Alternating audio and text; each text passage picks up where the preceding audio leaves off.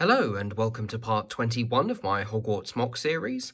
You might have noticed that for our second update in a row, we've not actually got any of the Hogwarts buildings here, and that's because today we're going to take a look at some of the smaller details in and around Hogwarts. I'm calling this my micro builds video, um, but that's just a kind of catch-all for the different details that I'm going to look at, and plus that, I'm also going to take a look at my minifigure stand, the rotating uh, turntable stand type thing that I use to display minifigures, uh, mostly in set reviews, which has also been requested. So I'm going to go through each of these different things in a little bit of detail. I may have covered some of them um, very slightly previously, and just show you how I've made them and hopefully give you some inspiration for your own MOCs, um, or just uh, show you how they're done for anybody who is curious. So we will start with the most basic, I think, which is the Hogwarts Brazier. And there we go, that's a nice close-up view of that. So uh, when I say this is a simple build, it's simple to the point where I don't even really need to take it apart so you can see what um, it's actually made of. Just these one by two uh, profile bricks, uh, I think originally created to look like wooden palisades. They come in one by two and one by four lengths. Obviously I've used the one by twos here. Um, and then two two by two plates in dark tan. I will just pop this off so you can see what's underneath. A little bit difficult. There we go. Under that is a 2 by 2 round tile with the hole in the middle. And then fixed into that to reverse the direction of the studs is a dish piece, a 2 by 2 dish which goes into there. That's in dark tan. It's a bit of a tight fit. It is a legal connection in there, but it does it does feel a little bit like you're forcing the pieces, but uh, I believe it is correct. Fitted into that is a one by one uh, hollow stud, so the one with the room to put a bar through the middle, and that's in trans orange. And then fitted into that is a small flame or plume piece, again in trans orange. Uh, tend to put it that way round so that that is facing outwards. Uh, tried a few different things for this brazier. Um, you'll see what it's meant to look like. And this is the simplest design that I could work out that still looked roughly in scale with the minifigures. Um, it's a design that's easy to replicate, doesn't use too many pieces, and there are quite a few of those dotted around the castle. Next, we'll go on to the library where these two builds come from. You may recognise them from my video on the viaduct entrance building, but I will show them again in just a little bit more detail here. First of all, starting with the bookcase here. Now, as you can see, this bit is actually separate. See more of those profile bricks in uh, reddish brown this time. Uh, this doesn't actually connect. It requires putting on a base plate for things to actually connect. But as you can see, that then creates this small shelf that sticks out at the bottom. Um, I'm using as a base down here the 1x3 jumpers with the two studs, one on each side one of these modified bricks here with the groove down the middle just for a little bit of added detail. This side faces out towards the back of the building, the open side, and this actually faces, uh, faces towards the wall so you can't see it. Um, there's more of those 2x3, not 2x3, 1x3 double jumpers there. And then in order to hold these books, um, I've actually just used um, tiles and plates of various descriptions here. I'll just take that off so you can get a better view. So you can see these are just stacked tiles, uh, essentially, and some plates with rails on the side, and other places I've got these 2 by 2 jumper plates, um, which allow me to offset some of these. You can see that means that this looks like it's sticking out on one side. And these are all held on. I just remove all of these by four, two per shelf, of these modified bricks. These are the one by one by one and two thirds modified bricks with two studs on the side. Relatively recent, um, although they're in tons of sets now.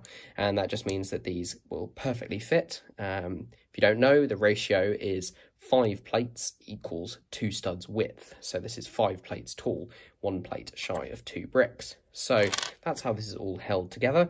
And then in order to create the smooth surfaces, you've just got these modified plates or tiles, however you want to think about them, with two studs. And that just allows each of these to stand by itself trying to put it together on camera. Um, allows that to be offset. I think I have worked out how this all goes back together. And then the entire thing is just capped off with um, a 2x4 tile at the top. And you can slot these in there. And I have managed to actually put the whole thing back together, he says. There we go. And then obviously that is just free floating. So that's the bookcase. I have got three of these in my library. They're all built exactly the same way, just with some variation in terms of the books. Okay, the second bit of the library that I'm going to show you is the globe. Now, I based this off a photo of one I think I found at the uh, library in Oxford where the scenes in Philosopher's Stone were filmed. I'm not sure if it actually appears in the film or if it appears again, but it was a nice little addition. So for those of you who don't know, these globe pieces are fairly rare, um, and they actually are made of two pieces. and inside is a little Harry Potter Easter egg. This is one of the old Ron Weasley hair pieces, which is just on top of a uh, one by one round brick and a one by one round plate. The reason I've done this is that there are actually no uh, stud connections on this. Um, the two pieces clamp together, if I can get that to work and then underneath you see this hole. Now this hole is the same size roughly as a stud or an anti-stud, although it's slightly bigger, which means there's no clutch when you put them together. What you need to do is sort of secure it around the base of uh, a piece like this, and it stays like that. Trouble being it then rattles around, so what I've created is a little uh, buffer kind of thing inside. So that goes on there, that goes on there, and that's much more secure. It means it can still spin fairly freely. Um, I've seen similar solutions in um, official Lego sets using the old sort of burglar style hat, um, but this is the one that I came up with. Underneath is a 3x3 dish in reddish brown. Just to reverse the studs so that this can actually stand up, I have just got, uh, again, one by one, oh, I'll get them apart, one by one hollow studs and then the one by one tile with a bar on the top. Those two just go like that. And then I have them this way up so that these four studs can sit between studs on a base plate so that it has enough clearance. This is half a stud all the way around, enough clearance away from the wall. Incidentally, there is just a reddish brown bar going all the way through the middle, which connects everything together. Okay, moving on to the next section. Yes, it's another bookcase. This is a much simpler one, which I think is more obvious how it's built. Just pop the top off so you can see. It again uses these uh, modified bricks with the two studs on the side. In this case, it still uses four, one, two, three, and then four here. And then going into the middle, we've got plates and tiles again, two tiles that meet up in the middle so that everything works smoothly. And then on each level below the top, we've got one of these modified pieces with no studs in the middle, and that obviously just allows these books to sit neatly there. Standard 1x4 on the top, which allows the detail of these slopes and these two studs, and then there are just two studs underneath on each side, which prop it up. Got one of these in my uh, quad building, and another one sitting in the Hufflepuff common room. Speaking of which, it's a chair, and it's a chair in particular from the Hufflepuff Common Room.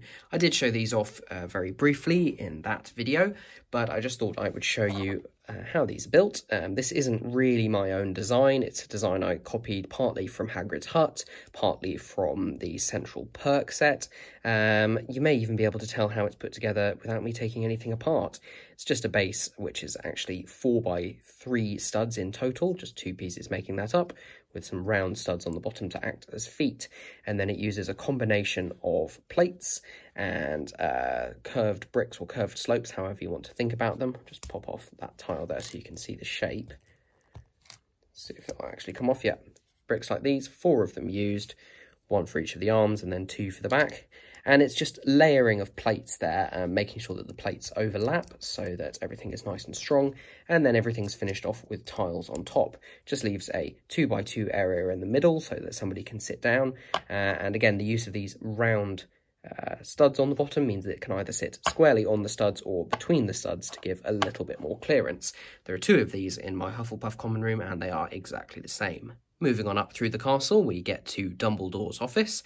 We've got three pieces here, two of which are actually from the office, and one is the gargoyle underneath. Pop this out of the way for now, and also this, and we'll have a look at Dumbledore's chair. Now, I spoke about this when looking at the uh, original Grand Staircase Tower in that video, uh, but I just thought I would focus in on it a little bit again. So I had an interesting time designing this chair. This is what it's uh, kind of supposed to look like, although it's also a mixture of Dumbledore's chair in the Great Hall. Um, I originally designed it with a 4x4 footprint, but then putting a minifigure in it, it's so oversized, as a lot of things tend to be with LEGO. So I managed to fit a design which is actually 3x3. You'll see underneath that they've got three along here, three there. So it's a three by three square, and that meant I had to use some pretty uh, creative building techniques in order to get a minifigure in. So you'll see there's another one of these one by three jumpers with the two studs, two upright brackets, one by one brackets there, and then these modified plates with bars on the side, and that just creates the front of the armrests. The back itself is actually hinged just here. You've got the hinge clips and bars there, which all locked in underneath. And then the back is actually held together with uh, connections which you'd think would be quite weak, but actually turn out quite strong. Got a few of these ingot pieces in various places, two of them to work as the rest of the armrests, which means there's still space to put a figure down in the middle there. Um, and then the back is held on with more of those 2x3 jumper plates. You can see one here, and there are two more there. And then you've got the pentagonal tile upside down, which connects this final bit of back. Two more uh, 1x3 tiles there in dark red, which I just thought was a nice bit of variation. So that is Dumbledore's chair.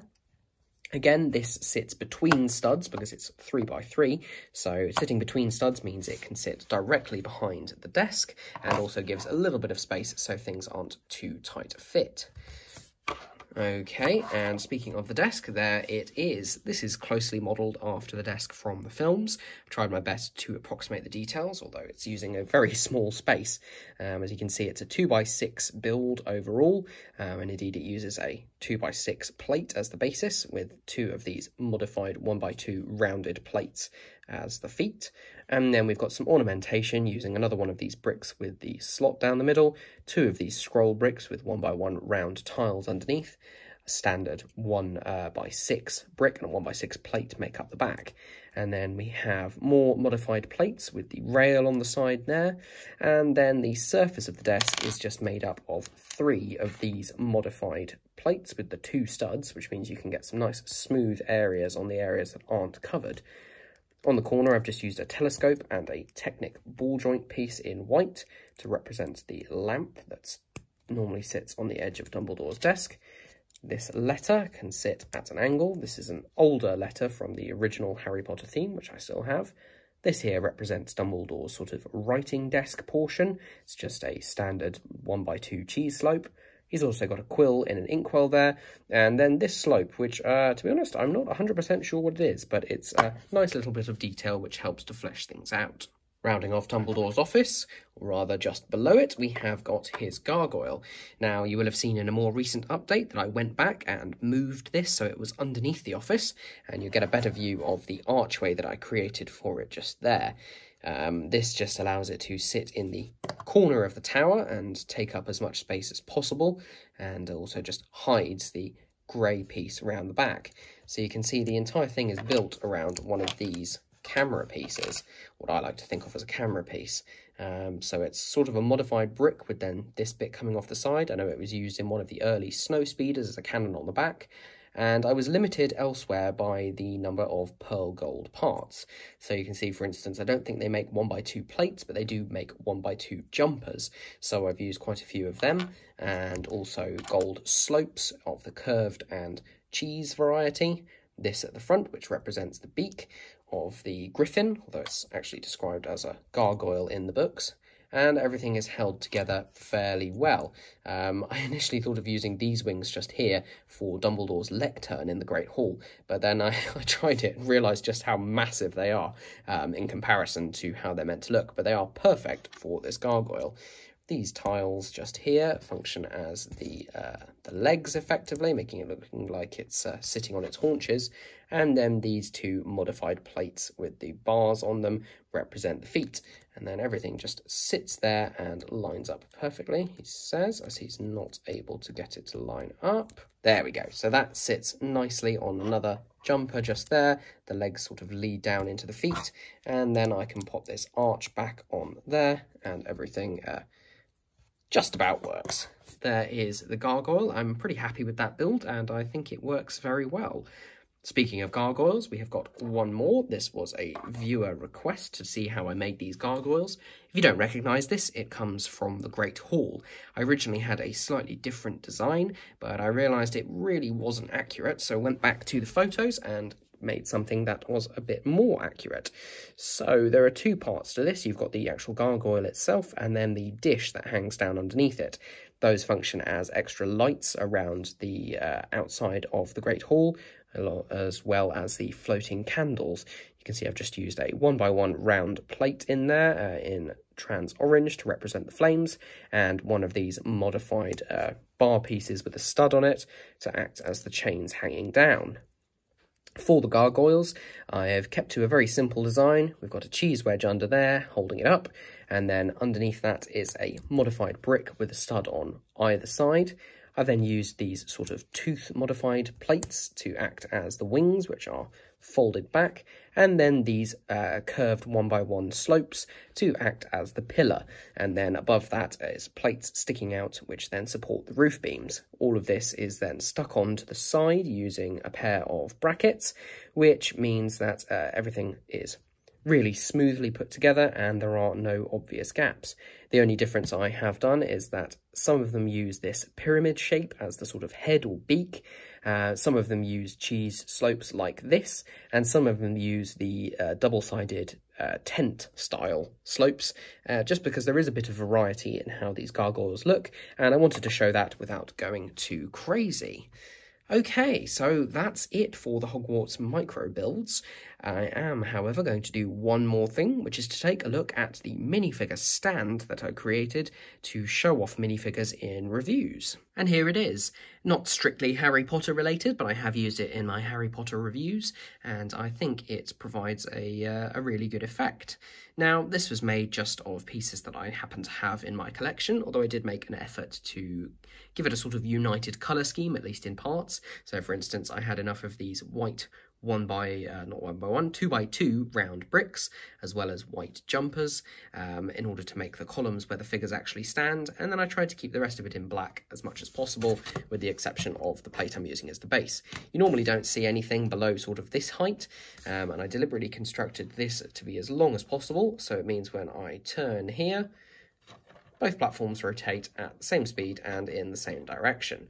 This is a very simple effect, just achieved through the use of Technic bevel gears. So those are the gears in here.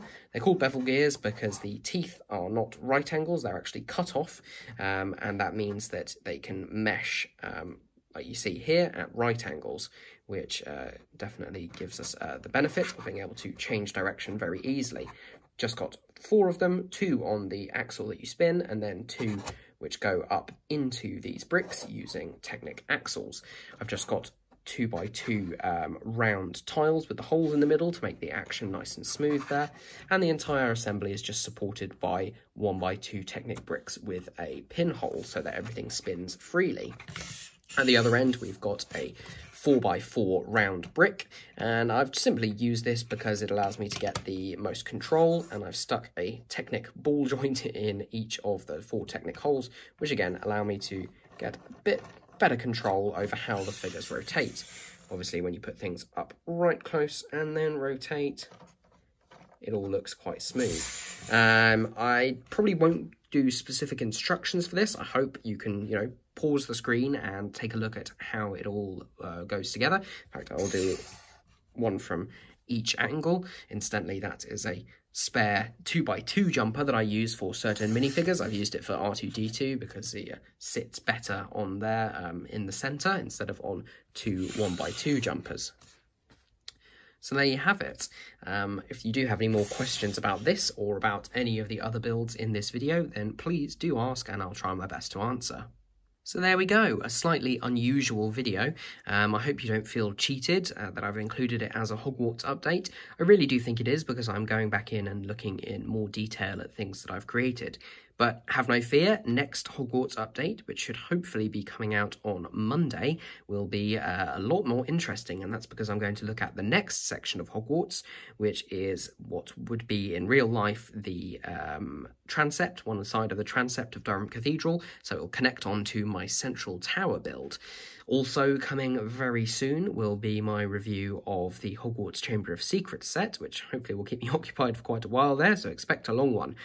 Okay, if you've enjoyed this, then please like, share, subscribe, all the good things. That will help me out and help me reach more people because I just love being able to share everything with you guys. Um, like I said, comment if you've got any questions or any opinions on the stuff I've shown you, and I will do my very best to reply. So I will see you soon, and uh, till then, have a good one. Bye.